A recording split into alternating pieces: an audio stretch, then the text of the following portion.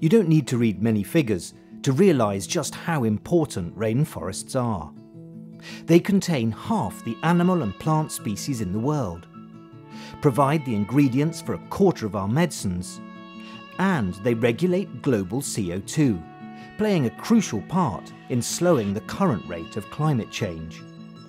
But below ground level, rainforest regions also contain valuable resources like timber, oil, and copper.